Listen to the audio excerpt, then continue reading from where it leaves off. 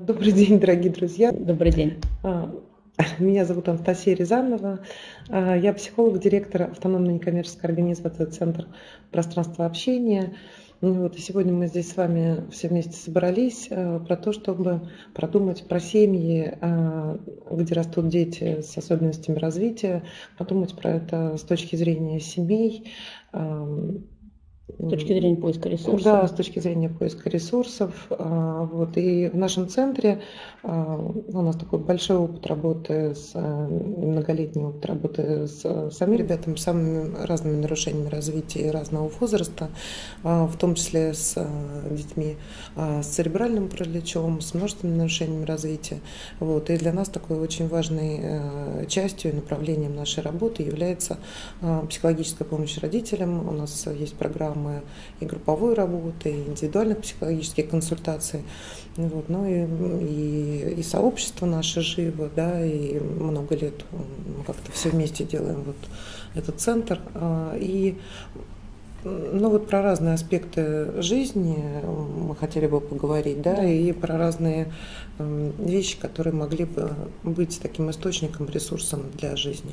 И это, конечно, вебинар, э, ну, мы надеемся, да, прежде всего для родителей, ну и для тех людей, которые оказывают поддержку э, Семья. семьям, где растут дети с особенностями развития. Я тоже представлюсь, меня зовут Ирина Долтова. У меня а, двое детей. А, младшему сыну сейчас уже 21 год, у него множественные нарушения развития. А, в частности, у него есть тоже детский церебральный паралич, эпилепсия, тяжелые ментальные нарушения. Да, и для мы, мы с Настей много лет сотрудничаем. Для меня вот эти программы помощи семье особенно важны. Мне кажется, очень важно семьям, неважно сколько лет ребенку, понимать э, себя учиться искать ресурс, понимая, что жизнь с таким ребенком это все-таки требует а, изменений, требует а, разных совершенно знаний от родителей. Вот, и эта жизнь, как бы это план надолго, это жизнь надолго, и надо хорошо понимать, что ждет нас родителей впереди. Вот, и мы хотим ну, начать... для этого сохранить ресурсы. Да, для этого да, надо искать ресурсы. Ага. Это одна из э, ну, нужных вещей для нас, для родителей. Угу. А, ну, и вообще такой сейчас крен в области психологической науки. Да, психологической науки и построения служб, которые связаны с психическим здоровьем, да, крен а, идет в сторону резильентности, сейчас скажу, что это такое, и компетентности, да, то есть вот разные специалисты, которые занимаются помощью самым разным категориям людей, которые оказываются в трудных жизненных обстоятельствах, а, думают про то, как сохранить такую упругость психологическую, социальную,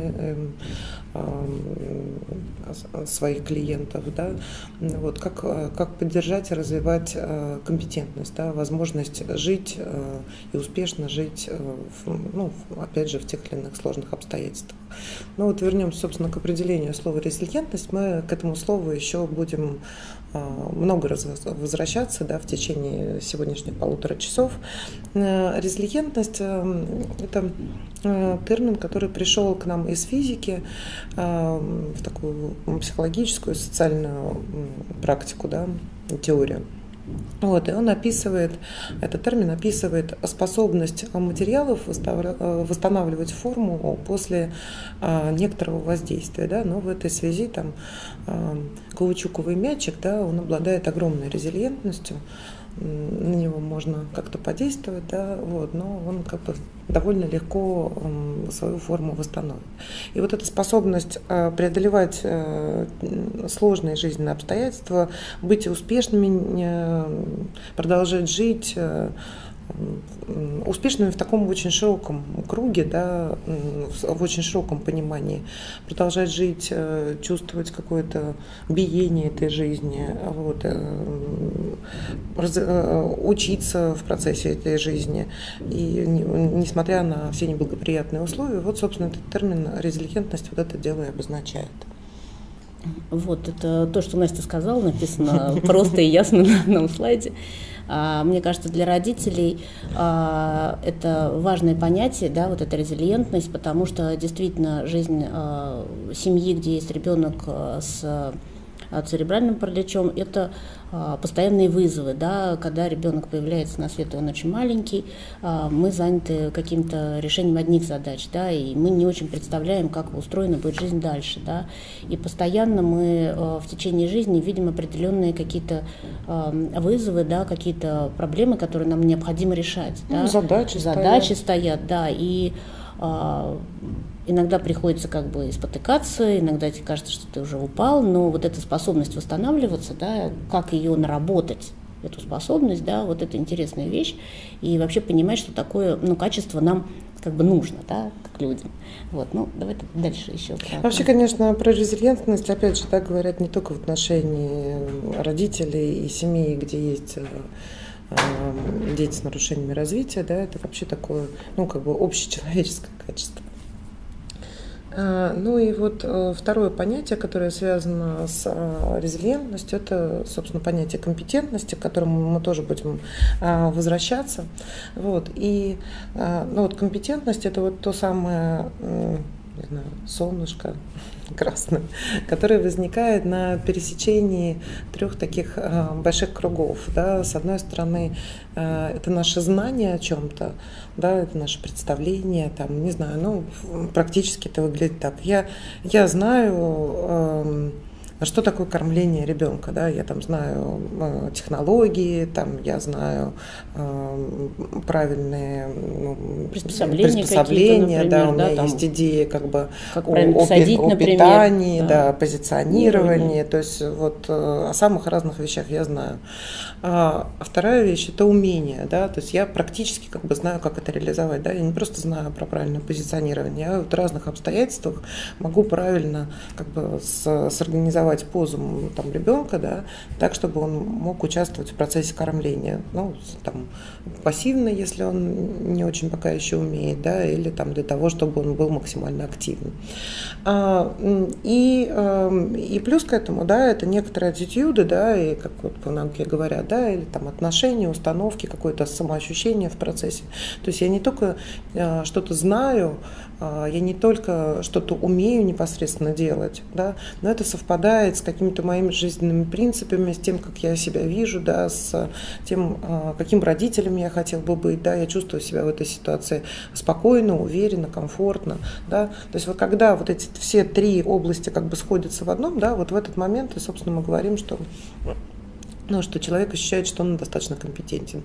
И с точки зрения как бы, ну, устройства жизни семьи, да, и такого родительства, а, конечно, никто не, а, не рождается, и, там, не становится компетентным родителем до того, как вообще ребенок появился на свет. Да. Каким бы ни был на самом деле ребенок. Ну, конечно, мы более или менее там, понимаем, как воспитывать обычного ребенка, да, но если у ребенка есть те или иные нарушения, да, то все равно там, те или иные особенности, вот, то компетент, ну, компетентность – это такая вещь, которая приобретается э, ну, по мере жизни. Да, вот, э, ну, ну все временем. больше, да, со временем, да.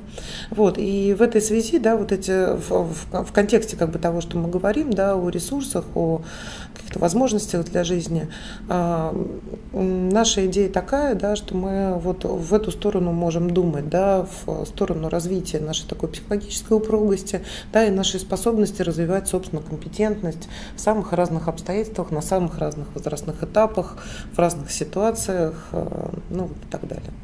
А, вот э, то, что Настя говорила о компетентности, хочется еще добавить, что довольно часто мы как родители, родители испытываем некоторую беспомощность. Да? Мы видим, что, допустим, у какого-то педагога или у психолога а, ребенок э, да, там, что-то умеет делать, а, а нам вроде как будто бы это не получается, как будто бы это не дается. Да?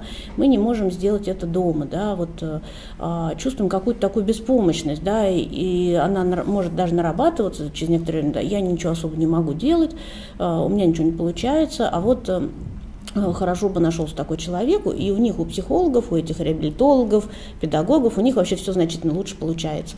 На самом деле для семьи очень важно постепенно перенимать эти знания у специалистов, да, а, учиться разбирать, а почему не получается, да, а почему у другого человека выходит, а у меня вот какие-то сложности вот в этой, допустим, определенной ситуации возникают, да, потому что а, именно мы живем с нашими детьми, проводим с ними 24 часа времени в сутки, а, вот, и если специалисты действительно нам попались в жизни хорошие, которые действительно могут что-то наших детей научить делать, да, то все равно а, основное, а, основное время, которое мы проводим с ним, основной как бы э, все-таки уход, там, забота, э, воспитание лежит на нас, на родителях, да, и поэтому ну, вот это, конечно, ребенка, все да? бытовые, да. да, как бы бытовая жизнь на нас, да, и э, не хотелось бы обратить внимание вот на эту схему, да, потому что любой родитель может э, ее использовать для себя, вот эту именно небольшую схему и понять, например,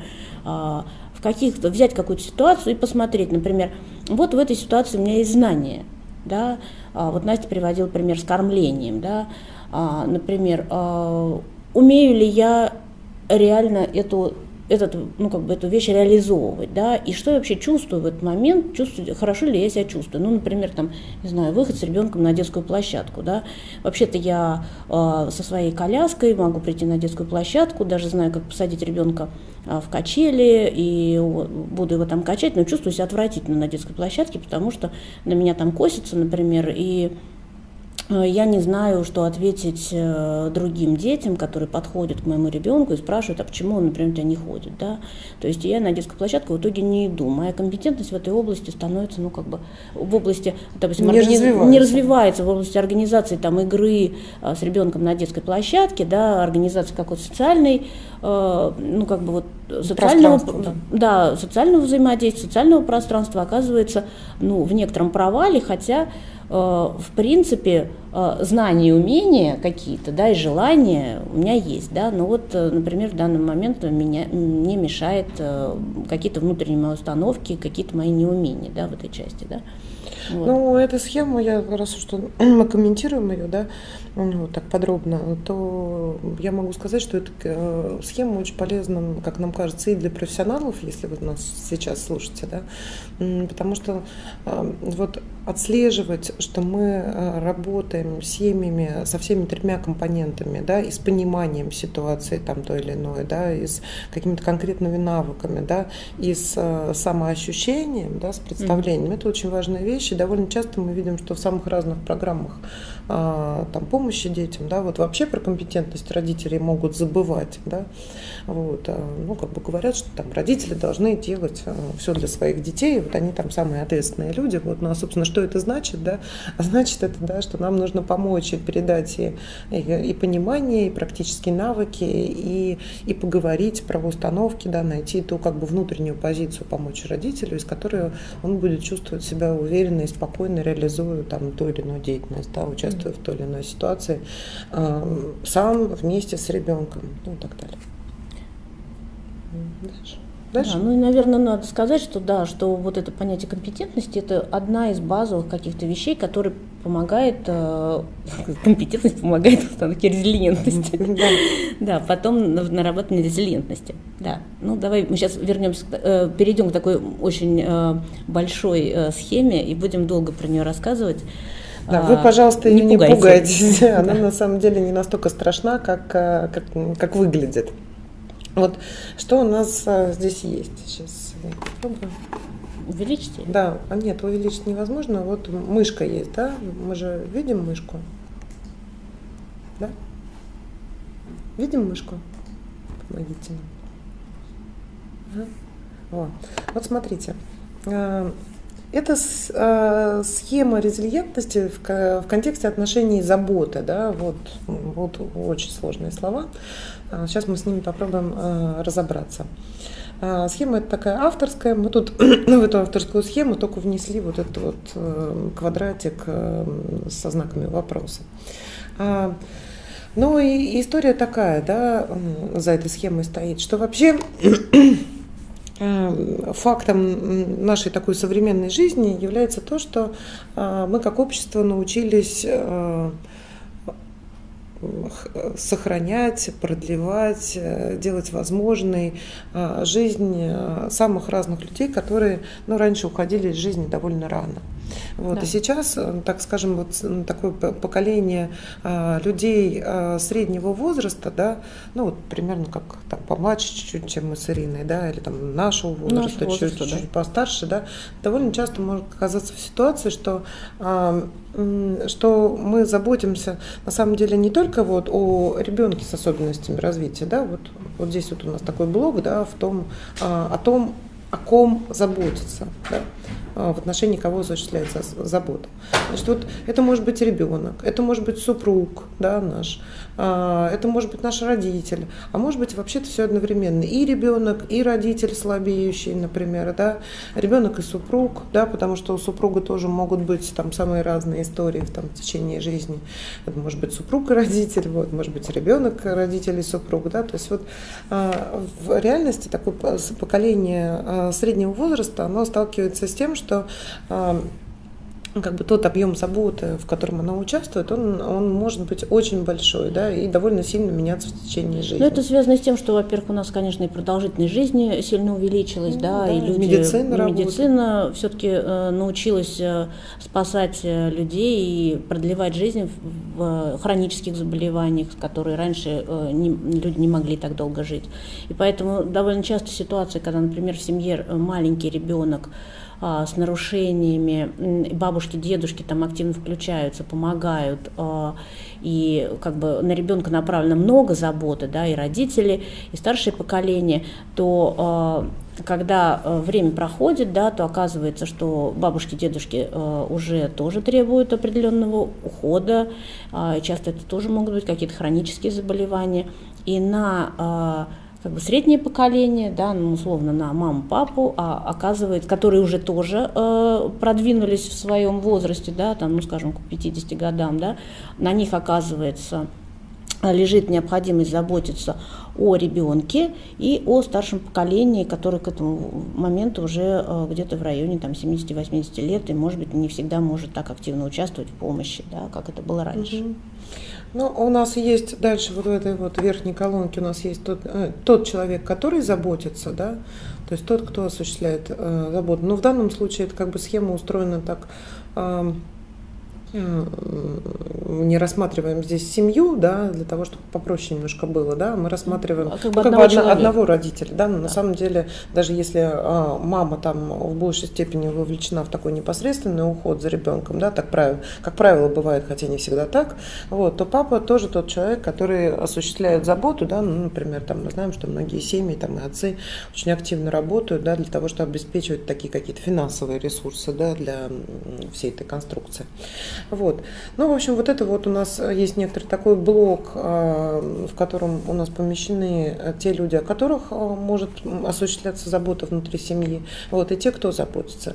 И э, есть всегда некоторая предшествующая история, вот, да, предшествующие события, какой-то этап жизни, э, какой-то опыт предыдущей заботы, да, какое-то состояние как бы всех участников, вовлеченных в этот процесс.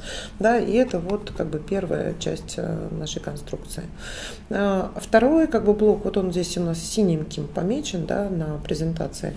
А, это, собственно, определенные риски или э, те факторы, да, возможности, да, которые связаны э, с такой жизнестойкостью, да, с резилиентностью. Мы не очень любим там понятие жизнестойкости, хотя оно может быть для русскоязычной аудитории такое, ну, более понятное, но как бы там в, в научных, э, в научной среде есть немножко разное наполнение, да, поэтому мы будем в данном случае говорить то резилиентность, то жизнестойкость для того, чтобы, ну, просто это как бы легче воспринималось, да.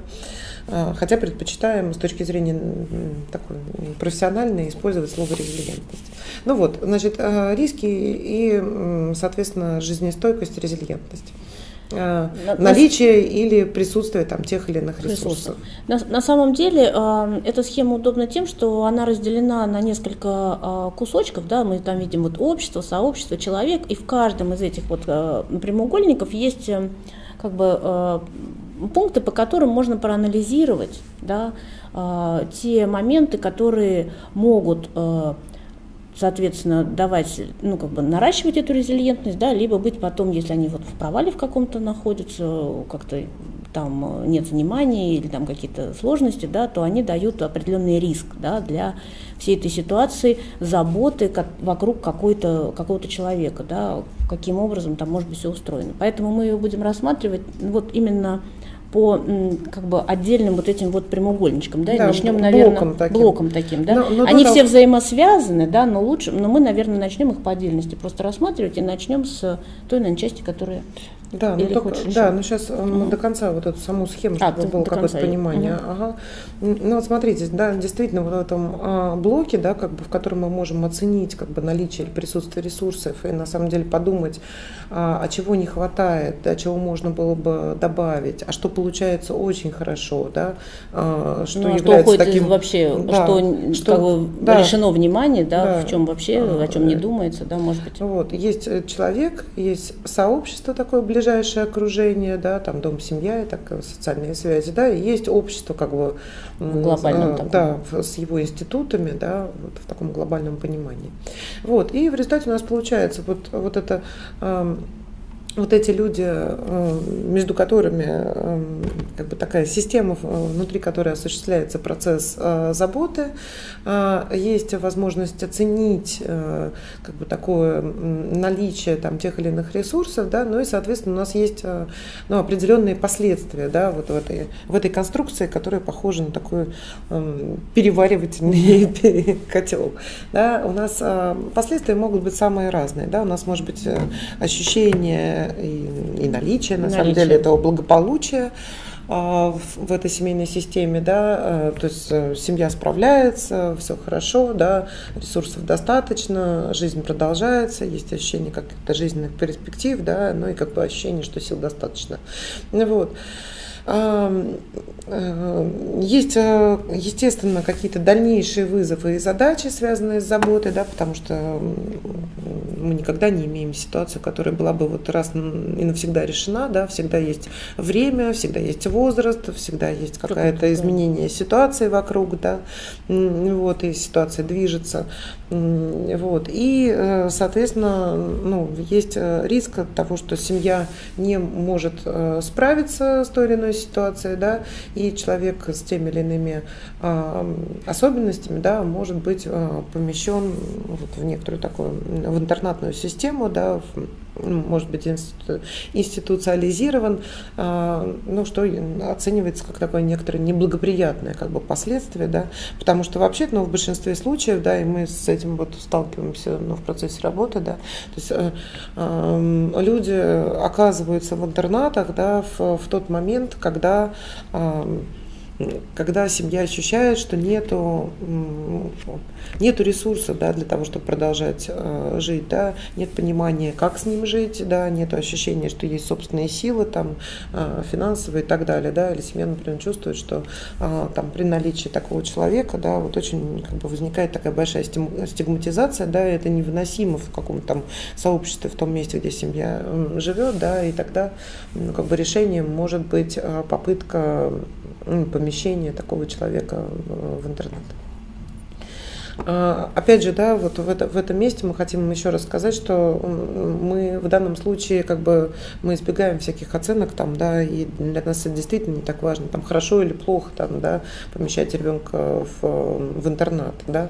Иногда это единственный способ, да, как вообще всей семье сохраниться, вот, к сожалению, к сожалению, да, и мы также знаем, что многие люди предпочли бы какие-то другие решения, да, если бы они как раз ощущали, что во всей вот этой вот нашей большой конструкции, да, есть ресурсы ресурс для того, чтобы продолжить жить дальше, да, для того, чтобы перепрыгнуть из а, вот этого ощущения как бы жизни до, да, в, в, в некотор, оказавшись в некотором провале, да, что с ребенком а, вот такие нарушения произошли, да, и как, как бы продолжение этой жизни дальше, да, как, как, как продолжить. Если этот мостик между прошлым и будущим, он как-то восстановлен, да, ну, то, конечно, семьи предпочитают, мы это видим, да, жить, продолжать жить со своими детьми, да, потому что ну, действительно любят и очень хотят быть вместе. Ну, ровно как и с супругами, родителями и так далее.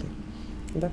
Вот, ну и вот э, такая конструкция, да, в зависимости от того, как э, ситуация была прожита, да, у нас возникают некоторые новые вызовы и задачи, да, у нас э, Опять же, мы можем посмотреть, а кто, собственно, тот человек и какие у него есть возможности, о котором заботиться, да, потому что, ну, опять же, уровень самостоятельности там может быть разный, да. Ну вот есть сам человек, да, и э, вот это вот сам наличие ресурсов.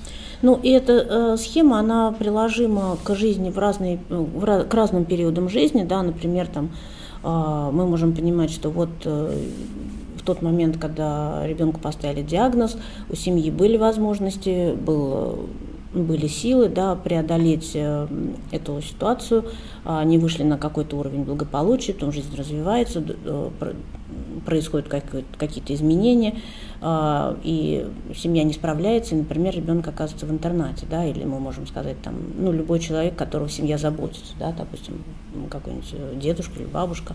Вот, то есть а, эта схема, она приложима ну, к нашей жизни в любой момент да, а, просто мы можем ее посмотреть, проанализировать, мы сейчас ее дальше как бы будем рассматривать, mm, да, да, мы будем вокруг нее вокруг крутиться. нее крутиться, да, и она дает нам возможность э, э, поглядывая туда, в эту, в эту схему, да, понимать, э, а как бы мы хотели выстроить свое будущее, чтобы избежать э, резких вот таких вот э, историй, связанных с тем, что мы перестали справляться вдруг неожиданно, да, и какие-то изменения произошли такие, что мы говорим, да, все, мы больше не можем и э, заботиться, и ребенок помещается в интернат. Да, то есть, ну, да. в принципе, эта схема приложима ну, ну, как бы к любой ситуации, которую мы э, можем, можем, в которой мы можем оказаться. Ну, наверное, надо угу. уже к ней. Да, да, да. Ну, давайте по посмотрим на вот этот вот кусочек, который касается, собственно, самого человека, который осуществляет э, заботу. Да, довольно это часто мама, но на самом деле это не всегда так. Вот, бывают и папы. Бывает и, и бабушка, бабушки, и дедушка да. очень э, включаются. Вот, и вот этот человек, который осуществляет э, заботу, э, у него есть определенные психологические ресурсы, у него есть определенные биологические ресурсы, некоторые вещи могут быть там связаны с его полом, с возрастом, а, с тем, как он, а, какими практиками он пользуется, да, с тем, как он поддерживает собственное здоровье, вообще следит ли он за этим, да, ну и с наличием определенных там материальных ресурсов у него. Но вот это очень для нас очень важный блок, да, мы, может быть, если у нас хватит времени, потом к нему более подробно вернемся, но сейчас хотели бы какие-то самые основные вещи такие сказать, да. Дело в том, что когда у нашего близкого случаются те или иные нарушения, он заболевает, э, ну, в общем, что-то с ним случается, что, что является для нас ну, таким тяжелым событием, да, вот, и ему становится нехорошо, а, то мы, э, ну, будучи любящими людьми, э, довольно часто, и мы видим это вот как бы раз от раза, да, это правда для нас это так, да, мы э, можем сконцентрировать все свои усилия, да, мы можем напрячься и постараться прорваться сквозь эту ситуацию, да, постараться э, вытерпеть ее, да, э, пройти, сделать максимально возможное для него ну вот через такое, через эм, сверхнапряжение, да, такое. через сверхнапряжение, через концентрацию собственных усилий и так далее. Ну и в этот момент обычно человек забывает о себе, да, потому что, ну, и ситуация такая, да, как же я буду думать о себе, а как же я буду уделять себе время, если мой ребенок находится в таком тяжелом состоянии. Да, это психологически э, очень оправданно как бы внутренне так для человека. А, да, конечно. Э, вот, и Но это еще, я бы сказала, что это еще принято в обществе, да, что у нас есть такое как бы а, мнение, что хорошая мать э, это та, э, та женщина, которая бросила все свои интересы ради ребенка, а, отказалась от всего, например, да, и вот ну, пожертвовала, пожертвовала собой ради самого близкого существа, да, как бы. И, конечно, эта стратегия работает. Да? Нельзя сказать, что эта стратегия не рабочая, да? иначе бы мы много все чего не, не было бы. Да. да, много чего бы не было. Да?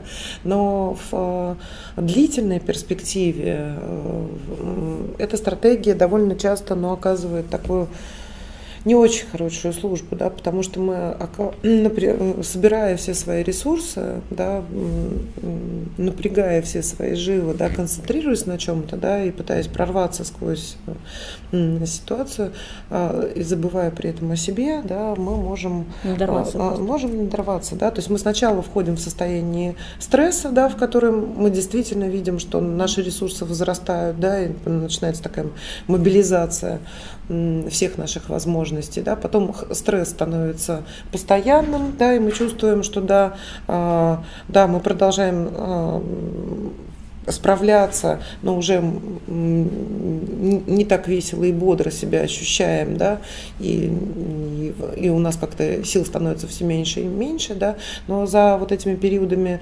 мобилизации, особенно за периодом хронической мобилизации, да, а, следует фаза истощения. Uh-huh. Вот, и мы, к сожалению, видим довольно часто, что а, если а, люди вот в этой стадии как бы мобилизации, хронической мобилизации не дают возможности подумать о себе, э, себе право, да, не дают прежде всего подумать о э, своих потребностях, да, о своих потребностях в отдыхе прежде всего, да, иногда в очень простых вещах, да, там, во сне, да, а, в том, чтобы иметь какое-то свободное время, да, немножко не занятое там проблемами, да, для того, чтобы э, не заниматься своим там физическим состоянием, да, и ну, как, как, как, как я могу как поддержать себя. Да, поддержать себя, и как я могу вообще заботиться о собственном здоровье, да, если у меня вот такое вот семье происходит, конечно, там, ну, мало ли, что у меня там в боку болит, да, вот, мало ли, что там у меня спина как-то побаливает, да, если я продолжаю по-прежнему как бы двигаться вот э, в, по этому пути, да, то последствия могут быть очень разрушительны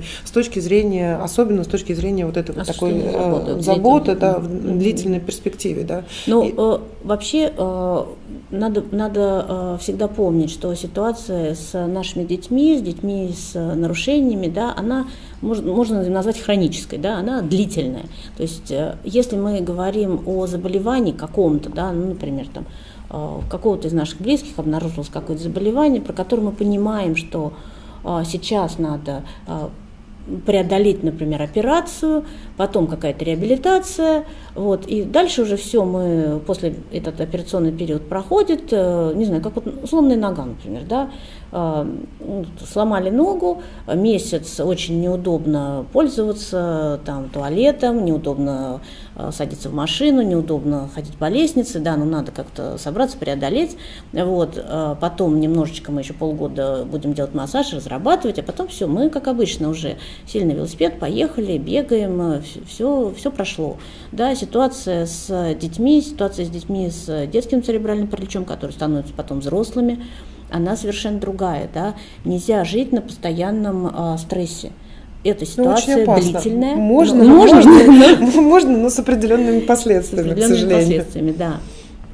А, поэтому э, надо заботиться о себе, да, надо выделять себе время, но э, иногда это сложно. Да? да, это вообще еще не очень распространено в нашей культуре, да, вот мы к этому там возвращались, да, э, люди действительно, когда читают даже в самолетах, вот я там, знаю несколько людей, да, которые, когда они первый раз прочитали в самолете, да, что сначала маску нужно одеть на себя, потом на ребенка, да. вот, а, иногда вот такая первая реакция да, людей, ну, так скажем, вот знакомых мне, да, из, из нашего такого российского сообщества, да, как, как же так, да, как же я могу, да, ведь ему же нужнее.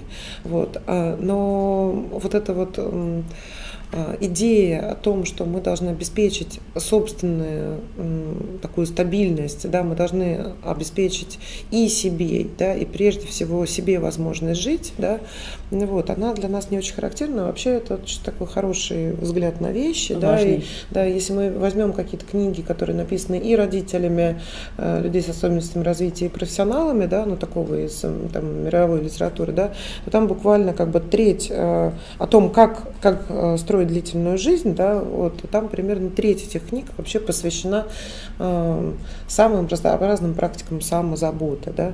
Мы на самом деле не имеем в виду только чисто такие материальные вещи. Да, вот, на самом деле речь идет еще также про э, психологические навыки, умение справляться со стрессом, умение расслабляться, э, иногда э, умение восстанавливать какую-то связь э, с собственными ценностями, да, не забывать о важных для себя вещах, там, не знаю. Умение попросить помощь. Да, умение момент. попросить помощь. Э, умение зна- поделиться, поделиться, передать какую-то ответственность кому-то, да, это же тоже очень важно. А, умение и знание, как а, планировать э, Э, самые разные вещи. Да? Вот один из таких факторов, который сильно влияет на э, резилиентность родителя, да, это умение э, хорошие, хорошие навыки планирования, да, в том числе это касается, например, материальных ресурсов, да. Иногда нам что-то кажется столь, столь привлекательным, да, то, что мы можем туда вбросить вот вообще практически все, что у нас есть, да, угу. не думая о, о будущем. Да, о будущем, о каких-то долгосрочных перспективах, не знаю, об интересах э, других э, людей, которые участвуют также в этой ситуации. Ну, не знаю, там ради одного ребенка, да, мы э, там, забываем о каких-то других вещах.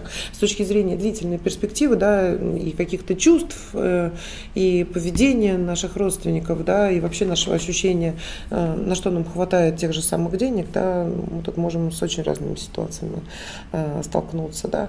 На что мы распределяем эти материальные ресурсы? Мы их мы их все вкладываем э, в реабилитационные программы, например, да, и понятно, что сейчас там их много, их много, да, они очень разные, они дорогостоящие, да, да вот. Э, э, мы можем подтягивать, там, привлекать деньги самых разных людей обращаться за помощью фонда и так далее. Но вот мы как бы все ли мы свои ресурсы бросаем на реабилитацию. Понятно, что очень хочется, чтобы э, ребенок э, перешел на совершенно другой стадию. уровень, да, другую, другую стадию. Но тем не, э, тем не менее, да, э, выделяем ли мы, допустим, достаточно средств для того, чтобы просто кто-то нас сменил да, вот в этом процессе помощи э, ребенке, да, готовы ли мы как бы платить э, там, часть денег, э, там, не знаю, няне, да, или как, э, как может, там, социальному работнику, да, который мог бы нам пом- помочь просто в даже обычной жизни. в обычной в жизни, жизни, просто выскочить из этой ситуации на несколько часов, да, и иметь какую-то свою жизнь, наполненную вне самыми этой, разными да, вещами, вне да, вне этой ситуации. Ну, довольно часто часто мы видим, э, это связано с тем, что при детском церебральном плече э, дети часто, э, ну, как бы малобомбильны, да, и проблемы с передвижением, что родители поднимают детей, перетаскивают коляски, тяжело посадить ребенка, допустим, пересадить из коляски в машину, да, и это такое становится привычной деятельностью, которая, ну, каждый день делаешь, я каждый день поднимаю 20 килограмм, ну, и я продолжаю это делать, да. Ну, и более того, чувствую себя достаточно тренированным, да? Да, достаточно тренированным, но а, это вообще очень частая ситуация, в какой-то момент а, спина просто не выдерживает, да, потому что дети растут, они становятся, ну, все тяжелее и тяжелее, и, например, просто а, а, научиться правильно перемещать, знаете, как правильное перемещение тяжелых грузов. Да, это очень простой вроде как бы навык, ничего там такого сложного нету, а, там 3-4 приема, которыми мы можем пользоваться, да, может быть, они будут, э, можно на них потратить немножко больше времени, может быть, да, но на самом деле это нам, нас иногда спасает да, именно в длительной перспективе, да, не сломаться, не получить травму позвоночника, когда и тогда ситуация, которая завязана только вот на маме, которая таскает ребенка, она просто рушится, да, и дальше уже э, очень сложно ее как-то восстанавливать. восстанавливать В общем, да. оперироваться значительно тяжелее и более дорогостоящий процесс. Чем ну, использовать да, правильно, чем, правильно, правильном перемещении грузов. Да. А, хотя вещь это очень... Не все, опять же, не да. все профессионалы обращают внимание родителей на вот эти аспекты, да, ему бы очень хотелось, чтобы профессионалы тоже думали про вот эти вещи, да, иногда, когда мы выдаем какие-то задания, там, не только в области там физической реабилитации, да, но и в области там а, формирования каких-то психологических возможностей ребенка, да, в области его обучения, да, нам иногда кажется, что наши идеи самые главные и правильные, вот, поэтому, ну, как бы семья должна максимально там мобилизоваться, да, для того, чтобы наши рекомендации выполнять.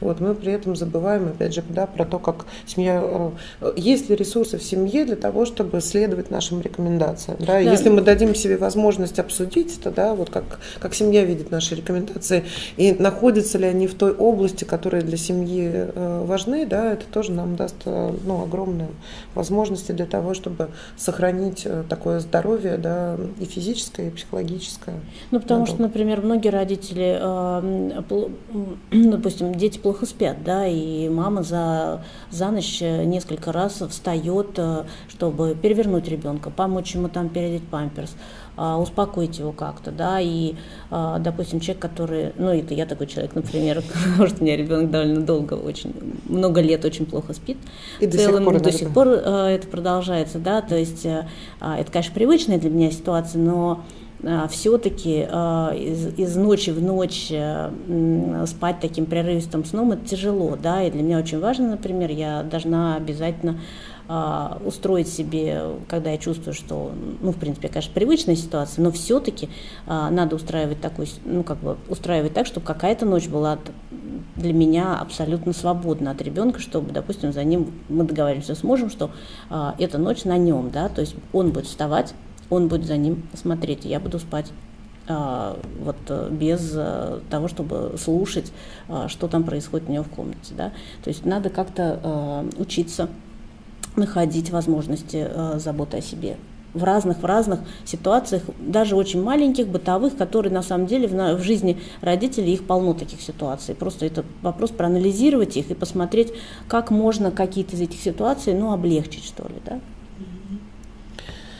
А, Наверное, дальше. Да, еще раз, да, не только все как бы про такое физическое устройство, да, очень важно э, душевные ресурсы, да, очень важна такая духовная составляющая, да, во всем вот в этом таком поле и личности человека, да, индивидуальности.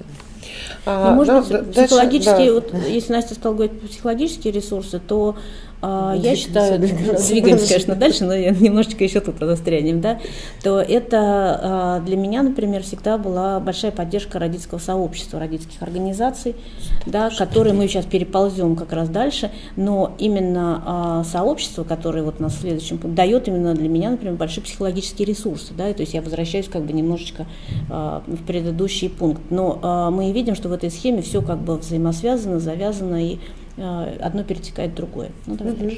ну вот человек, он живет не автономно, вот, он живет внутри определенного сообщества, и когда мы думаем про сообщество, мы можем думать вот про такие компоненты а, как социальная поддержка, социальные связи, а, участие, а, дом и семья. Да?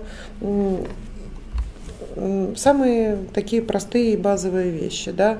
А, если у нас друзья, как друзья относятся к нашей ситуации, участвуют ли они, разрешаем ли мы им участвовать в этой ситуации, сообщаем ли мы э, им о каких-то своих потребностях, просим ли о чем-то, готовы ли мы в свою очередь э, прийти на помощь, когда им ну, поддержка нужна. Ведь дело в том, что когда с нами случается какое-то там, не знаю, горе, трудность, да, какое-то очень такое интенсивное интенсивное, мощное событие, да, то вот очень часто мы чувствуем себя Самыми несчастными. самыми, да, ну вот, грубо говоря, самыми несчастными, да, и вот это ощущение нашего собственного несчастья, оно может нас очень сильно изолировать от э, каких-то таких потенциальных возможностей, которые есть на уровне сообщества, да.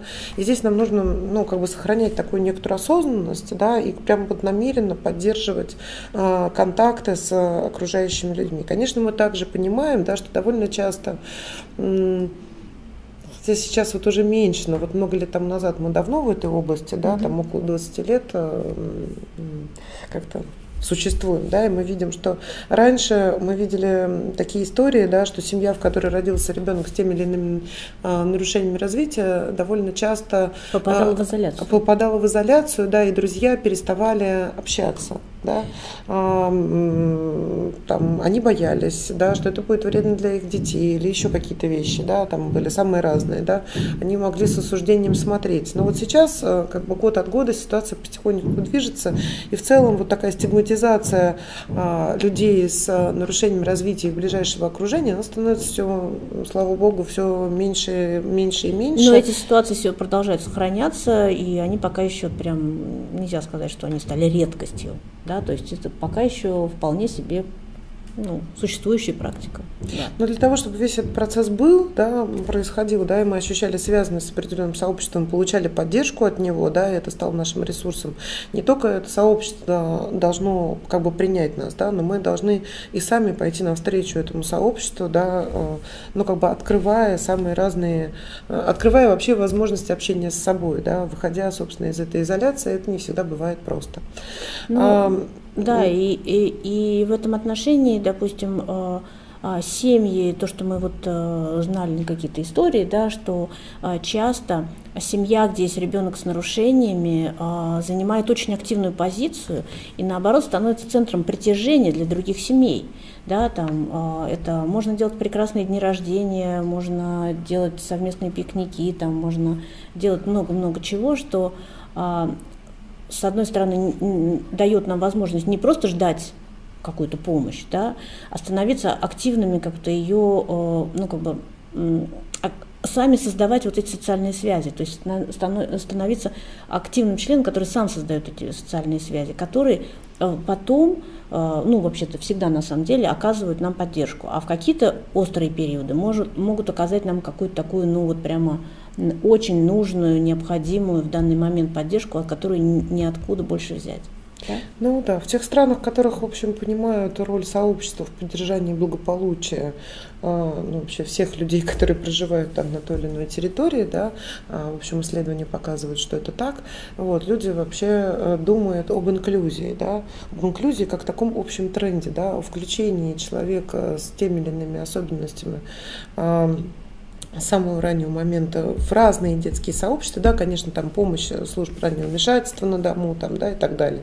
Но вот очень важно, куда ребенок пойдет, будут ли у него возможности общения с другими людьми на детской площадке, в детском саду и так далее, в школе и так далее. И таким образом, э, будет ли ощущать себя семья, участвующая в том же а, как бы социальном процессе, да, и что все остальные другие семьи, да, и пользоваться как бы ресурсами там тех или иных социальных институтов, да, а, вот этого ближайшего окружения, да, как возможности для организации собственной жизни. Ну и, наверное, здесь очень важно, чтобы этот процесс запустился как можно раньше.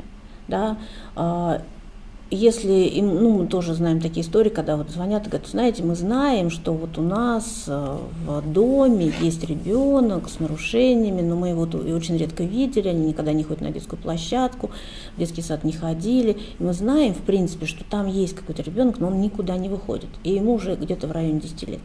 Да, э, я подозреваю, что для этой семьи очень тяжело будет выйти да, и начать жизнь а, вот в 10 лет, когда этому ребенку уже 10 лет. Да, значительно проще, а, когда этот процесс запущен, ну, естественно, с самого начала, с той же самой детской площадки, куда все выходят с колясками, да, с того же самого детского сада, когда это даже может быть, ну, как бы территориальное сообщество, да, когда уже Э, во дворе как бы все общаются вместе, или там, не знаю, в детский сад все вместе ходят, да, а потом переходят, допустим, в школу какую-то, да. То есть этот процесс, запущенный с самого начала, процесс инклюзии практически, да, он дает э, очень большую поддержку вот этого всего сообщества для этой семьи на протяжении потом, может быть, всей жизни. Да, да и э, очень важно, очень важными являются э, связи в такой большой расширенной семье, да, не только там папа, мама, да, и ребенок.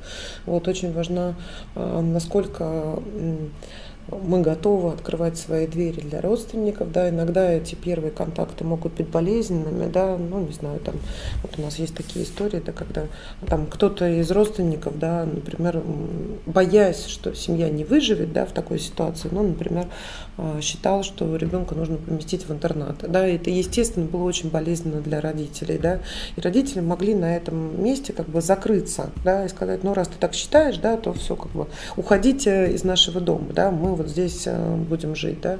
Ну вот, но если родители готовы готовы это обсуждать, да, вот, ну, как бы вдохнуть, выдохнуть, да, и понять, что там у всех могут быть очень разные чувства, да, и нам нужно всем вместе научиться жить, да, вот, и нам нужно подумать, как нам организовать вот эту семейную жизнь, да, так, чтобы была помощь и поддержка, да.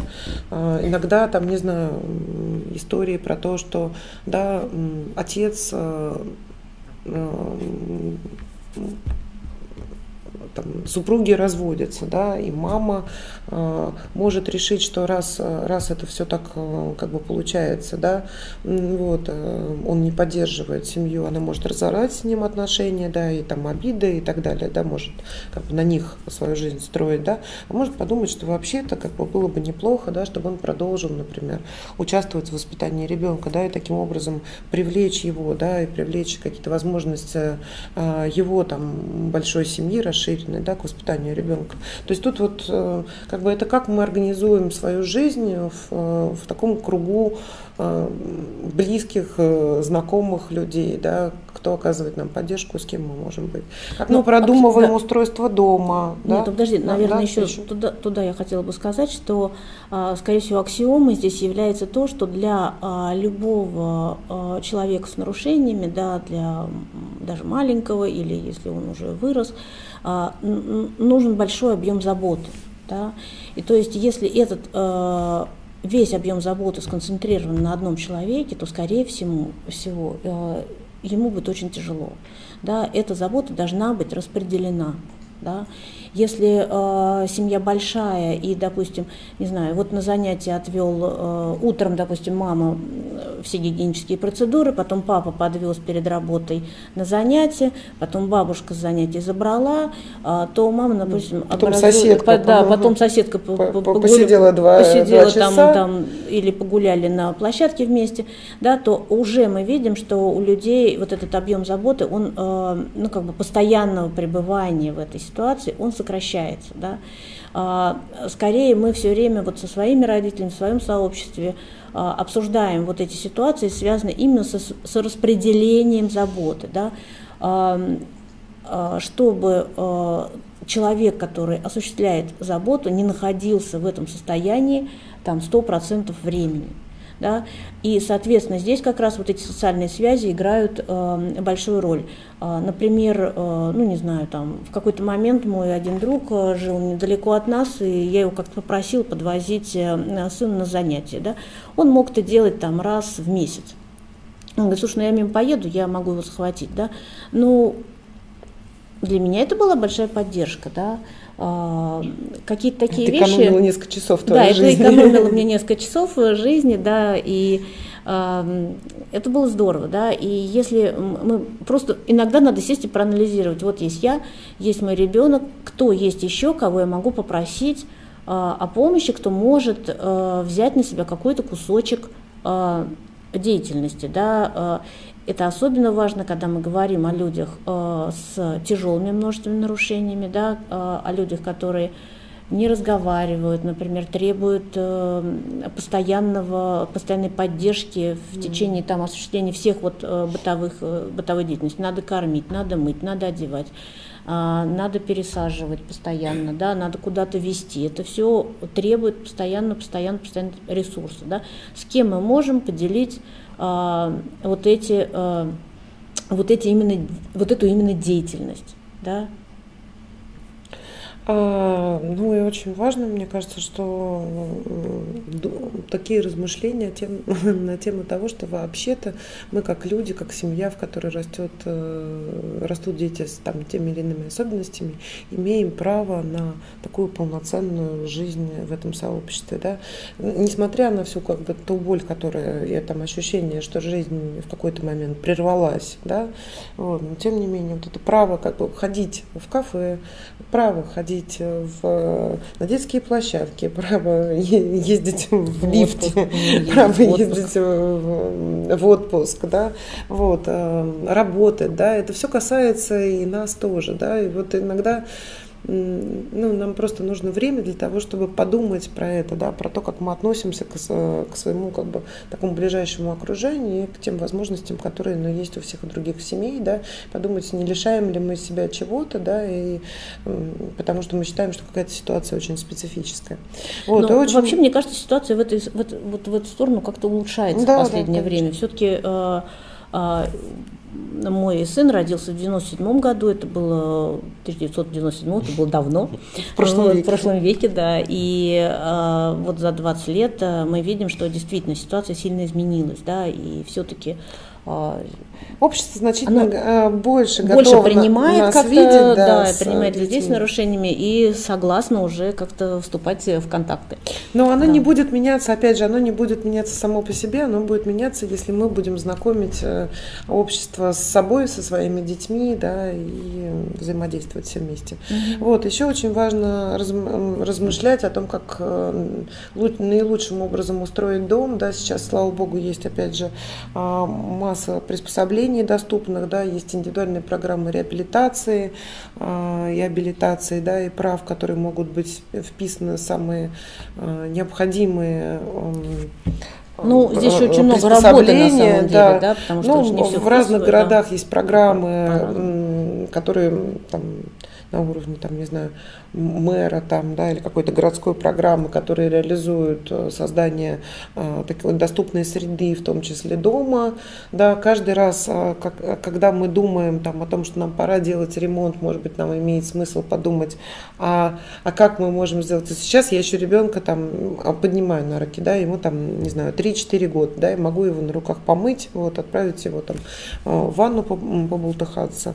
Вот, но может быть, если я сейчас затеиваю там глобальный ремонт, да, может быть, мне нужно вообще думать про то, что пора уже потихонечку ванну переоборудовать, да, для того, чтобы там мой ребенок а, мог там на коляске в нее въезжать, да, для того, чтобы там не нужно было его пересаживать через, а, ну, край, а, через бортик да, ванны, да, через бортик ванны, да, то есть как вообще наилучшим образом устроить все Ситуацию, вот эти моменты, да? да, может быть, там нужно сделать какие-то проемы дверные более широкие, да, потому что мебель э, немножечко другую. Да, да мебель какой? немного другую, да.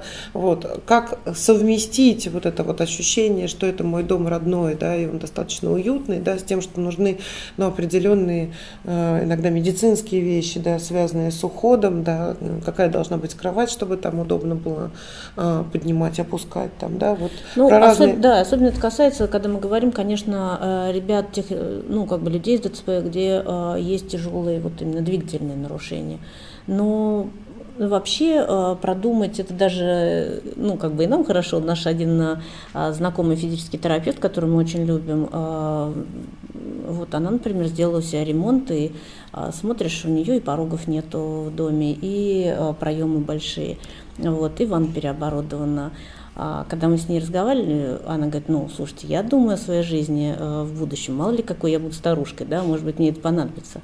То есть, ну, да. Сейчас даже... я делаю переоборудование квартиры, поэтому Да, почему я... бы мне не сделать удобную среду, а, которая на самом деле будет удобна, она же не только для детей, например, или людей с ДЦП, она вообще удобна, в принципе, для для пожилых людей. И для нас, допустим, даже если у нас, там, ну, как приводил пример, там, не знаю, ног сломали, да, то есть вообще удобная доступная среда, она э, хороша вообще в квартире, да, и в, в городе, да, ну, то есть э, некоторые приспособления просто полезны для всех. Да? Но это может быть очень тяжело думать, конечно, детям, тем родителям, у которых маленькие дети, да, а, и решиться в 3-4 года э, понять, что да, мой ребенок не будет ходить, и я должен переоборудовать квартиру, да, но может быть э, в 10 лет обычно эта ситуация уже понятна, вот, и переоборудовать э, какие-то, внести изменения в дома, может быть, уже надо, да. Ну и, наверное, от сообщества мы двигаемся в такую еще более крупную, бо, да, более крупную кусок, область. да. Сейчас. Вот этот вот сюда, да, вот в общество, да, где мы можем говорить про то, что в любом обществе существует определенная там социальная политика, да, существуют определенные практики, социальные службы, э, каким-то образом функционирует медицина, экономическая система функционирует, да, то есть, ну вот, э, есть какие-то общественные... Мы не живем в безвоздушном да, пространстве, да, соответственно, у нас много, много, на нашу, на нашу жизнь, на жизнь а, семей влияет общество, это точно совершенно, mm-hmm. что там происходит. Но и мы влияем тоже на него, так сказать.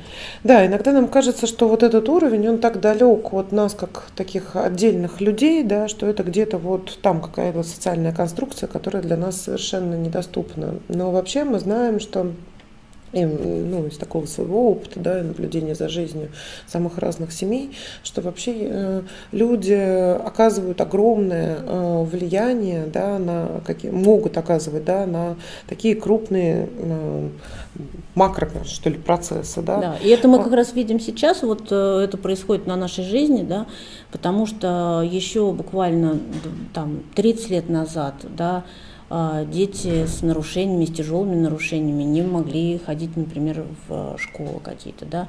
Мы знали, что мы знаем, что еще 20 а, лет назад а, детям выдавалась справка необучаемый да, то есть их просто не брали, э, не, не могли не взять в школу, да, то есть э, мы знаем, что эта ситуация очень сильно меняется. Приняты законы об инклюзии, да, у нас, вот Настя упоминала индивидуальную программу реабилитации, да, а, то, что 20 лет э, дети не получали памперсы, они не получали от государства поддержки в, в том объеме, который сейчас дается, да, а, это вот это же все произошло на нашей жизни. То есть изменение а, жизни а, людей с нарушением развития произошло очень большое. Ну и ближайшего окружения. Да, и ближайшего окружения, да? конечно. И а, в этом заслуга, конечно же, не просто государство, которое вдруг решило, а давайте-ка мы вот э, жизнь а, людей с инвалидностью поменяем. Нет, конечно, государство само так по себе ничего не решает. А, обычно это все-таки требования а, непосредственно людей, которым, у которых э, как бы болит. Да? Вот родительские организации, специалисты, а, которые работают вместе с родительскими организациями, активные родители, это они сделали эту э, расширяют, расширяют, возможности, расширяют да? наши возможности, да, и всегда можно принять участие в этой жизни, да, и понять, в какой части я могу тоже что-то сделать для того, чтобы в целом изменилась э, жизнь в стране. А, да, для людей с нарушениями. Да, через участие, например, в да. самых разных сообществах, э, через знание законов, да, через э, какую-то вот компетентность в этой области. И сейчас, опять же, очень хорошо, что существуют ресурсы, например, там э, нашей дружественной организации, несколько наших дружественных организаций, да, имеют такие и онлайн-ресурсы, да, и консультации юридические для семей, вот, когда семья может все больше и больше узнавать о своих правах, их реализовать реализовывать и таким образом ну, как бы менять на самом деле социальные институты и те социальные практики, которые а, да. ну, реализуются там, те, тем или иными социальными институтами. Дело в том, что, например, смотрите, там, если уж мы ну, как бы говорим сегодня об инклюзии, да, так как-то получилось, да, что мы ее часто упоминаем, вот, но там закон об образовании есть, да, а, регулирующие законы там в Москве есть, да. Теперь нужны как бы дети, да, нужны э, люди, их родители, да, которые поведут этих детей в эти школы, да, и пока а, да, очень много чего как бы практически, вот практика такая, да, что там, если туда приходит ребенок в, в обычную школу, а он имеет право сейчас сделать, да, приходит в обычную школу, и учителя пока могут абсолютно не знать, что с ним делать, да, но если он туда не придет, то, то он это... и ни в какой момент туда не придет. Да? То да. есть вот эта практика как бы обучения, да, что делать с ребенком, э, Э, там, с особенностями развития, который оказался в обычном классе, как наладить процесс, да, для того, чтобы вот это все закрутилось и практики поменялись, да, чтобы там были индивидуализированные программы обучения, да, подстроенные, чтобы были какие-то дополнительные э, занятия у такого человека. Да, сопровождение иногда да, нужно, что да, чтобы это все запустилось, это должно как бы начать реализовываться, да, потому что, э, ну, допустим, закон существует, закон об инклюзии существует, но он, знаете, как существует на бумаге, в безвоздушном пространстве, да, а, ну, пока, или в отдельных точках каких-то, да, да, в отдельных да, местах. И пока э, дети не придут в школы, да, и, и мы знаем, что этот процесс действительно идет довольно часто тяжело, а, мы на практике это ничего не увидим, это не будет реализовано, а закон останется в пустоте. И э, ну, это, да, это, это уже непосредственная как бы, реализация в жизнь наших прав, прав э, родителей и прав э, наших детей. Да. На самом деле мы знаем и такие случаи, и такие. Да? Мы знаем случаи удачной инклюзии, случаи неудачной инклюзии, когда она идет тяжело. Да? Но без того, чтобы пойти в этот лес, да, нельзя ничего сделать. Да? А, ну и, наверное, вот э, как-то мне так сейчас хочется еще поговорить про одну такую очень важную, важную вещь, да, про изменение там социальных услуг, да, на которые семьи могли поменять. Но вот смотрите, все-таки одно из таких э, самых острых вопросов, вот как мы видим там из разговора с родителями, да, является вопрос о том, что будет с моим ребенком, э, когда я уже не смогу больше о нем заботиться. Да. То есть понятно, что родители не вечны, да, и как в какой-то момент Э, может настать, да, когда я там в состоянии моего физического здоровья, да, может не позволить мне заботиться, да, или там, не знаю, или, или вообще меня уже не будет в этом мире, да. да. И вот это вот, э, что сейчас, э, история о том, что сейчас ничего кроме интерната Практически как, альтернативы нету, да, вот, а в интернате я не хочу, чтобы мой ребенок оказался, да, потому что я его люблю, и пока жизнь там не является а, достойной, да, я такой жизни не хочу для своего ребенка. Ну хорошо, если у меня есть еще есть какие-то родственники, то я могу уповать на то, что они как-то при, примут эту, участие, да, да. эту эстафету, да, а, попечения, но, в общем, довольно часто нам Э, то может казаться, что это так, да, то потом ситуация у этих родственников может поменяться, да, и тут никаких гарантий. Э, мы про себя ничего гарантировать не можем, да, про родственников тем более, да. Вот, у них обстоятельства тоже могут поменяться. Ну, в общем, короче говоря, вот эта вот жизненная перспектива, да, вот что, что будет после 18 лет, да, э, или там после, после его 30-летия, да, где он будет жить, будут ли условия жизни достойны, сможет ли он работать, э, будут ли у него друзья там и так далее, будет ли он продолжать жить э, в, достойно в открытом мире, да, или он будет изолирован в этих вот в этих чудовищных как бы тюрьмах-интернатах, да, это то, на что я сейчас уже могу начать влиять, да, объединяясь с другими родителями, поддерживая родительские инициативы, а, ну, вообще, в принципе, даже размышляя про будущее, да, потому что да. иногда жизнь так тяжела, да, что, ну, единственная вот перспектива вот этого будущего может быть столь пугающей, да, что я могу сказать вот на уровне, ну, таком моем человеческом, все, я о будущем не думаю, да, я думаю только вот о сегодняшнем дне, да, я концентрируюсь на нем, и мне бы, слава богу, вот этот день прожить, да, но где-то там, да, вот стоит за мной, за моими там, не знаю, прикрытыми веками, да, стоит вот этот кошмар вот этого будущего, да, в котором я ни в коем случае там оказаться не хочу да, и что будет, если там, я сейчас, не знаю, вкладываю усилия в реабилитацию, да, а если я не достигну а, того, чего, на что я там надеюсь, да, вот, а если что-то пойдет не так, да, или пойдет, в общем, так, но человек не будет достаточно автономен.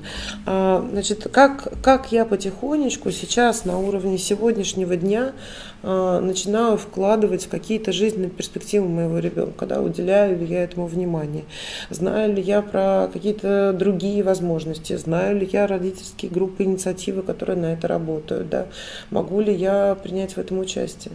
А, конечно, опять же, я понимаю, что, может быть, такая активная социальная жизнь, да, активная жизненная позиция, она, ну, как бы не каждый чувствует, что он готов э, именно так вот в этом процессе участвовать, да, так активным быть.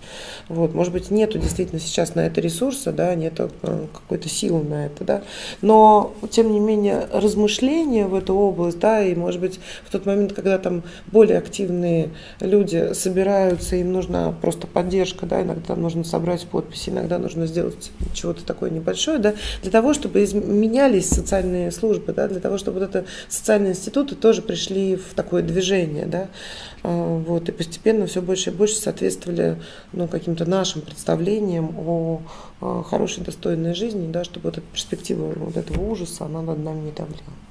Ну, вот. действительно, это такая тяжелая для всех родителей э, тема. Э, иногда нет никакого психологического ресурса даже думать об этом. Да, и многие же родители говорят, я вообще сейчас об этом тему, ну, на, на эту тему думать не буду. Да?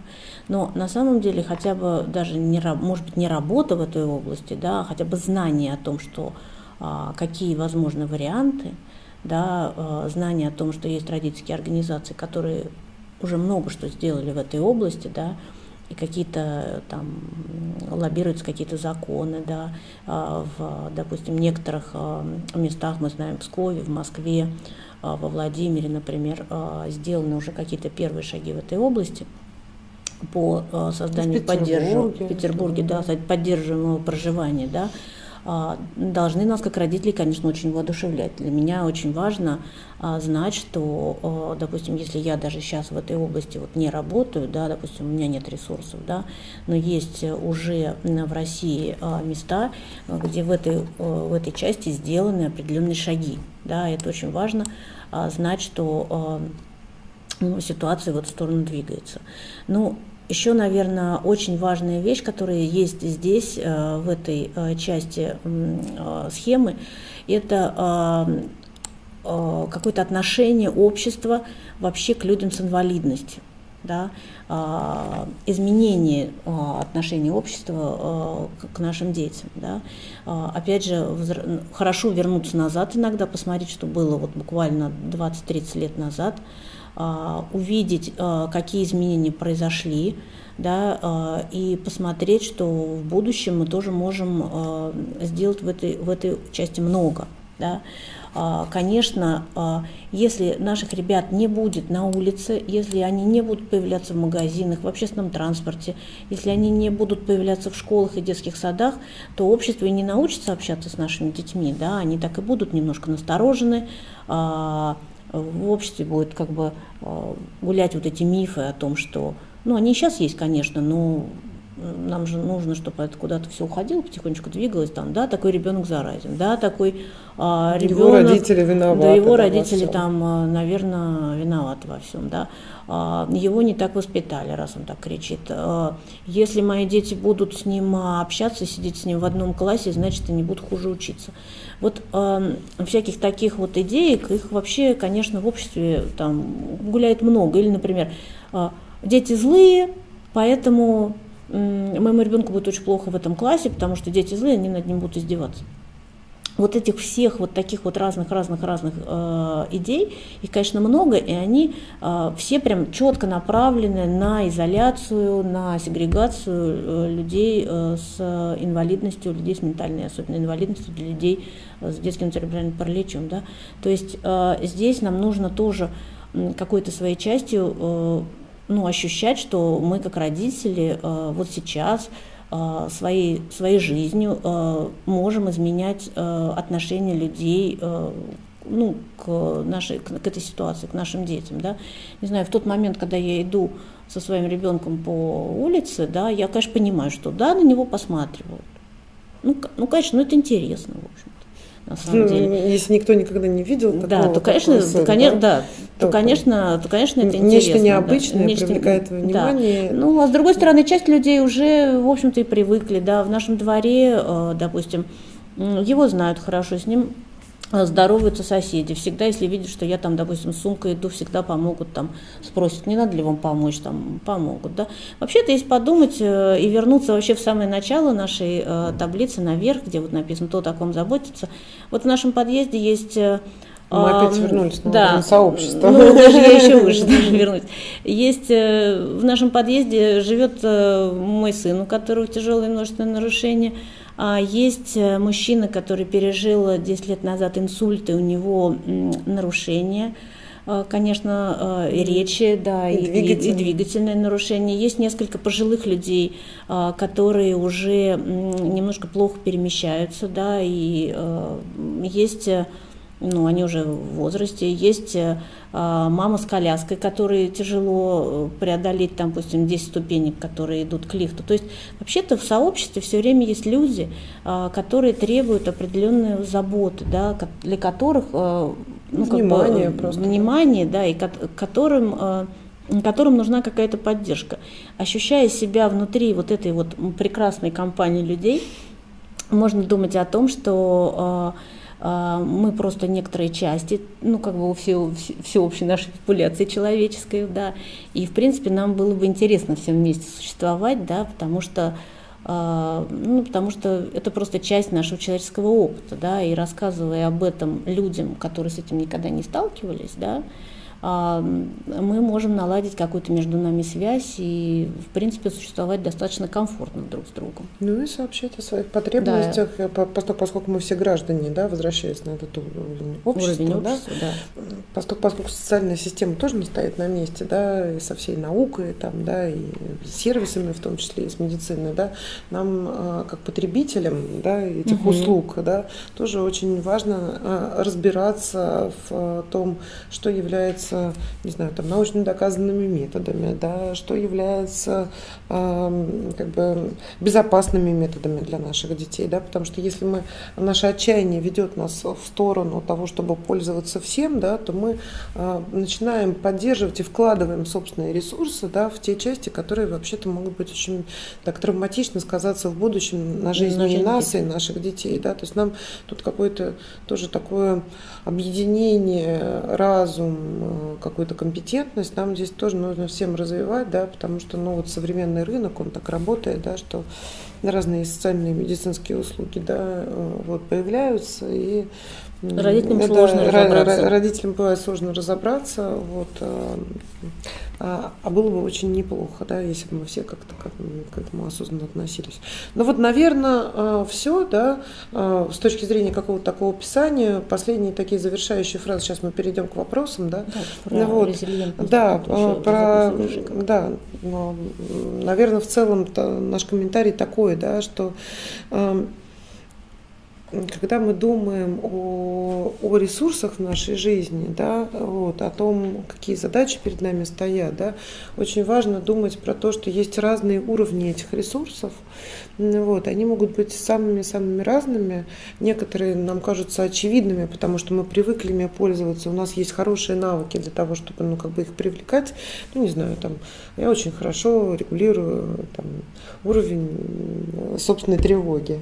Да, и могу справляться тревогой. Да, это ну, такие мои личные как бы, навыки. Да. Ну, или вот. про ресурсы иногда понимают, что это, ну, это деньги. Ресурсы это ну, да. какие-то материальные ресурсы, да, но, но как-то это ограничивает немножко. Да. Здесь, да. Но есть также ресурсы сообщества, да, к которым мы, в общем, можем получать доступ, да, нам важно как бы оценить, чего у нас есть и чего бы мы еще хотели. Ну вот, и есть э, ресурсы общества, которые нам тоже, слава богу, доступны. Да, вот, их можно и, постоянно да, пытаться расширить. Даже. Да, и мы можем на их доступность влиять, да, да, вот, и это как бы такая очень богатые, богатые, не знаю, как сказать, источники, да. да, вот, все это вместе, и наши личные ресурсы, и ресурсы нашего сообщества и общества в целом, да, в котором мы можем и развиваться, да, и сформировать новые ресурсы для себя, для каких-то окружающих нас людей, вот, и двигаться дальше. Нарабатывая вот эту самую резилиентность, чтобы быть такими же упругими, как хорошие каучуковые мячики. Да. Хорошо, наверное, вопросы, да? А, да, вот нас а, Елена из Челябинска спрашивает, как помочь открыться маме ребенка с церебральным параличом, если она не идет на контакт, не хочет даже оформить какие-то пособия на ребенка, не общается, не принимает помощь. Папа ребенка очень отрицательно относится к гостям и посещениям их семьи. Ну, это сложный вопрос, на который наверное, нету такого быстрого, как и на большинство вопросов, но у меня, по крайней мере, нету быстрого ответа. Все зависит от того, все-таки вы вхожи в эту семью, имеете ли вы возможность разговаривать или нет. А, если вы имеете возможность э, э, беседовать э, с кем-то из членов этой семьи, то можно аккуратно обсудить, ну, как бы, какие есть опасения, да, то, скорее всего, ну, это фантазия моя, да, ну, то, что мы да, не очень потому что мы не знаем эту ситуацию, да, мы не знаем этих родителей, да, но фантазия наша на эту тему может быть такая, что, ну, как-то люди боятся таких острых столкновений, да, боятся, что контакты будут неприятно ни для ребенка, ни для, ни для них самих, боятся столкнуться с обвинениями. Вот, и можно просто попробовать поговорить э, вот, про это. Вот, может быть, просто можно увеличить некоторое количество, ну, условно так я в кавычках скажу, количество улыбок вокруг этой семьи. Да? Mm-hmm. Иногда семьи... такого принимающей комфортной ситуации вокруг них.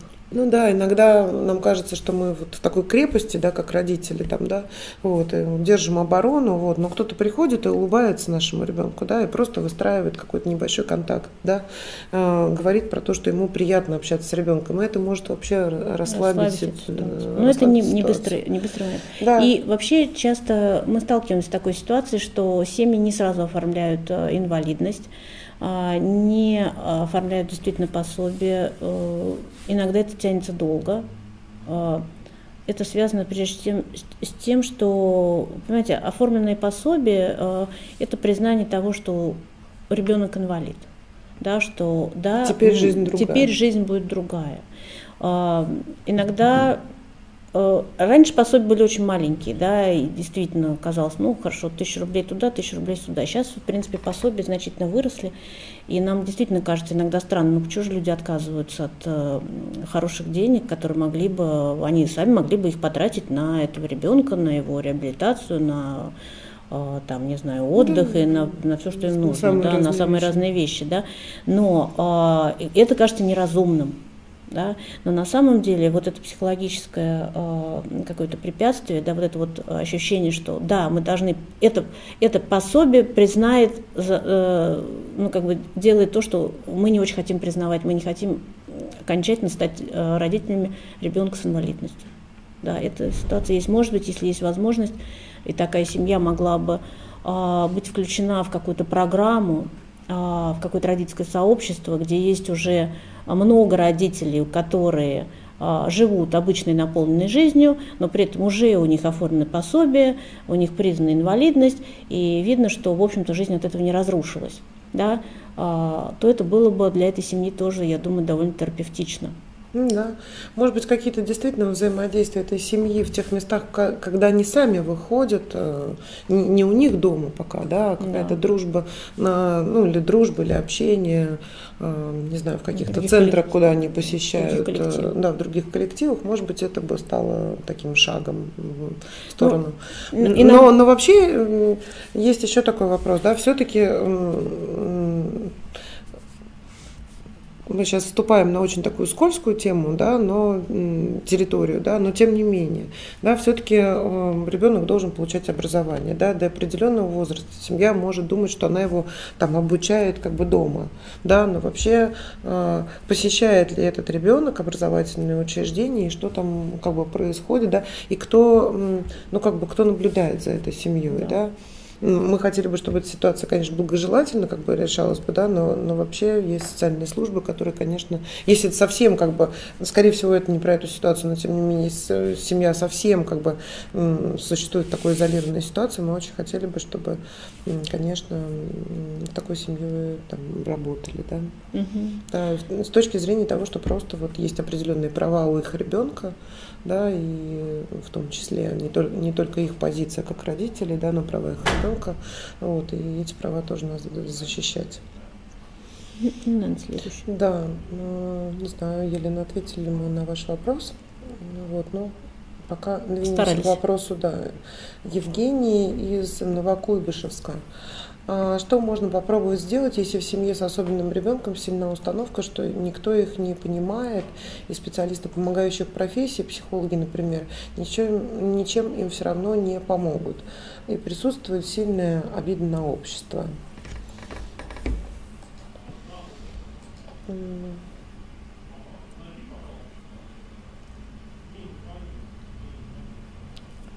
Ну, ну, а, мне кажется, начнешь ну, отвечать? Ну, хочешь, а, вы знаете, я вот а, считаю, что, наверное, каждая семья, может быть, в какой-то момент а, проходит через вот такое ощущение, да, что действительно никто не понимает. А, потому что и действительно, и никто, не, действительно никто не понимает, понимает, потому что каждая, а, каждый такой ребенок, каждая такая семья, каждая такая история – это совершенно индивидуальное событие, которое неповторимо. Каждое, ну, и проживается, и проживается каждой, каждой мамой, каждой, каждым папой, каждой семьей абсолютно индивидуально. Да? То есть э, вот это ощущение, что именно ваша ситуация абсолютно уникальна, э, именно вот у нас такая ситуация, она, да, и нас никто не понимает, да, это какой-то период, да. Но с другой стороны, э, наверное, э, нам кажется, что терапевтично, опять же, общаться. Общаться с разными э, семьями, общаться не только с семьями, где есть дети с детским церебральным параличом, а может быть с детьми, э, где есть дети с аутизмом, дети с другими какими-то нарушениями, общаться с семьями, где есть дети такого же возраста и есть дети, э, допустим, старше или младше. Допустим, когда мы делаем свои программы, в наших программах э, мы часто смешиваем возраста, да, то есть э, могут, например, в детский лагерь, в семейный лагерь поехать, например, семьи, где дети, детям 2 года, и э, семьи, где ребятам 20 лет. Да? Вот это вот общение и как бы перемешивание всех, да, э, возможность общаться родителей между собой э, дает э, тоже такой ну, интересный эффект, да, что действительно люди понимают, да, мы, да мы не уникальны, в общем-то. Да, у нас, в общем-то, ситуация у одних в одной части лучше, условно, да, у других в другой части лучше. В общем, они разные, да. И в этом нет никакой уникальности, и родители между собой могут найти действительно какие-то точки соприкосновения, которые они могут обсудить и как-то эти вопросы ну, становятся не такими жесткими, может быть. Такие установки становятся не такими жесткими. Угу. Ну, я тут еще... Тут еще про специалистов, Да, про, ну, про специалистов я... Что ну, значит не помогут? Да, что значит что, что значит не помогут и какие именно специалисты, да? Ну, Ничего греха таить. Э, действительно, часть психологов, которые работают в социальной области, могут иметь, да, и педагогов тоже могут иметь пока еще недостаточную квалификацию. Вот. И, э, может быть, э, хотя кажется, что если есть какая-то такая ну, душевная боль, то можно идти именно к этим специалистам, да, то не всегда бывает, что заход прямо туда, в психологическую консультацию, да, или каким-то психологом может принести облегчение. А, а в ответственность профессионалов в целом, которые работают с семьями, на мой взгляд, входит такая вещь, да, как формирование, совместное формирование программ помощи, ориентированных на потребности ребенка и семьи. Да, то есть, когда мы как бы начинаем вот это доверие специалистов, да, она э, вырастает э, прежде всего не на том, что мы готовы обсуждать какие-то глубокие личные переживания по поводу тех или иных ситуаций, да, вот, а мы как специалисты начинаем вообще в принципе говорить про то, как устроен день, да, что внутри этого дня можно поменять. И тогда вот это вот доверие может формироваться, да, люди видят, что э, то, что происходит с ребенком, э, ну, меняет их такую повседневность, да, вот, и что они могут, что этот человек их достаточно понимает э, тяготы и радости их жизни, да, ну, и может помогать им всем вместе как бы адаптироваться, да, и тогда э, это не обязательно как бы психолог, да, который входит в эту ситуацию, да, это просто как бы человек это просто специалист, ну, как бы с достаточными навыками, там, технологиями ну, есть. Да, и там, понимаю. опять же, хорошо, что есть разные технологии, там, да, разные методы оценки, например, которые учитывают вот эти вот э, запросы повседневные, да, и когда можно обсуждать э, в том числе всякие сложности, которые есть у родителей, да, в контексте просто повседневных вот этих самых рутин, да, и менять, менять жизнь, помогать менять, ставить задачи какие-то, да, вот на, на уровне такой повседневной жизни, да, ну вот, и это да. может, ну, как бы таким непрямым образом э, помогать, э, да. Тут скорее да. какой-то вопрос такой, знаете, как э, э, никто не понимает и никто не поможет. Если мы говорим, о, если ставить вопрос о том, что да, этот ребенок не будет э, обычным уже никогда, потому что это стабильное нарушение развития, да, оно не излечится. Абсолютно. Если, абсолютно, да. Навыки приобретутся. Да, навыки да? мы будем приобретать. Ребенок может развиваться. А, допустим, мы можем учить а, навыкам определенным. Я не знаю, какая там ситуация. Ну, например, а, мой сын учился около трех лет есть самостоятельно ложкой. Около двух лет он учился пить из чашки. Да, и до сих пор даже этот навык у нас не очень хорошо автоматизирован, потому что довольно часто, часто он не может поставить, когда пьет, например, чашку на стол. Да, она зависает у него в воздухе. Он хочет куда-то ее там, падает, да. Она падает, может быть, да. Ну, то есть а, мы работаем в определенной, совершенно конкретной ситуации. А вот такая фраза, как «все равно не помогут», и никто не понимает, это такая фраза как бы действительно общая, а, в ней действительно сделать практически ничего нельзя. Да, эту ситуацию а, никто не может э, вернуть э, назад да, и как бы вот ее совсем изменить. Но работать в конкретных ситуациях, которые прям вот по потребностям этой семьи и по потребностям этого ребенка, э, конечно, можно. Да, их нужно очень, опять же, да, еще раз, их нужно очень конкретизировать, да, да, что на, на уровне того, что сейчас было бы э, важным изменением Важным жизни, изменением жизни да, да. что хотелось бы изменить, да, в чем хотелось бы помощи, да, какие вещи могли бы облегчить хотя бы на немного э, ситуацию. Нужны быть конкретные да. шаги в конкретных э, вещах, которые можно увидеть результат через некоторое время. Ну, вот, наверное, да, ну и не все люди готовы прямо действительно сразу обсуждать э, такие очень Сложные личные переживания, переживания, да, вот, и нам здесь как специалистам, да, или каким-то людям, которые там нечто рекомендуют, надо быть очень аккуратными, вот. Ну, в общем, действительно, можно, может быть очень много чего болезненного, да. Надо быть аккуратным. Да, просто аккуратно. Ну, здесь наши контакты, если вы хотите связаться с нами, э, то мил, милости просим, наши телефоны, мейлы. Ну, вот, у нашей организации есть э, страница в, в Фейсбуке, она, наверное, такая самая наполняемая. Да, вот, сайт. Да, да, сайт есть, вот, и страница ВКонтакте. И, в общем, вот. Да. Спасибо всем, до свидания. Спасибо. Удачи. Да. Всего доброго. Всего доброго.